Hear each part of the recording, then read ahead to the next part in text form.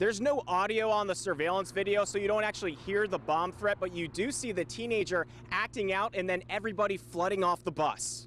Three teenagers sit in the back of the bus. The bus driver told Greenacres police they were loud, disruptive, and then one of them took it way too far. The teenager with the beard allegedly shouted, There's a bomb on the bus. Like little kids running, and we just saw like a whole bunch of people like get off the bus.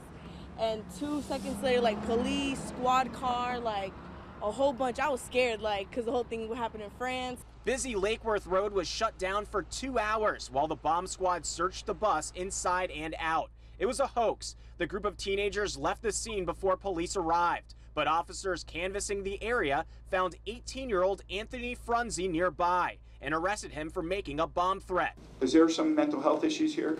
No, I just think he's a little immature. At Frunze's bond hearing, the prosecutor called the teenager's hoax extremely dangerous. And with the recent terror attacks in Paris, the timing made it even worse. The judge ordered Frunze to receive a mental health evaluation and to stop riding the bus. Stay off all Palm Tran buses, okay? I order no contact with any Palm Tran buses, and Tri-Rail for that matter.